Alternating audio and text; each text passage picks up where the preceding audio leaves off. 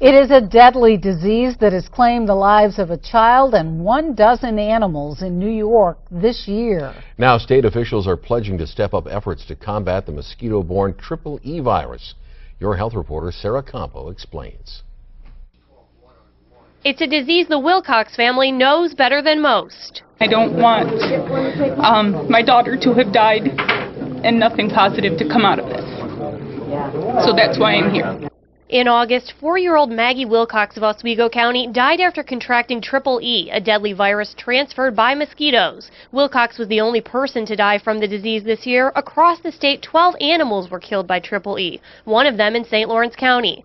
Senator Patty Ritchie is calling top state and local experts together to brainstorm ways to have a preventive plan in place before mosquito season returns next year. EEE prevention will be a, a, a key thing. We do not want to have a repeat of, of this year, and we want to understand what happened this year and how we can better approach it uh, going forward.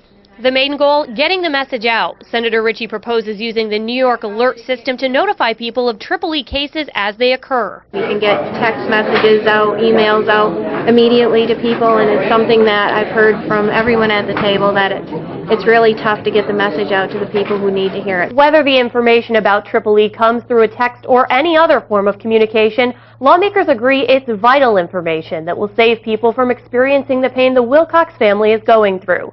For your health, Sarah Campo, 7 News.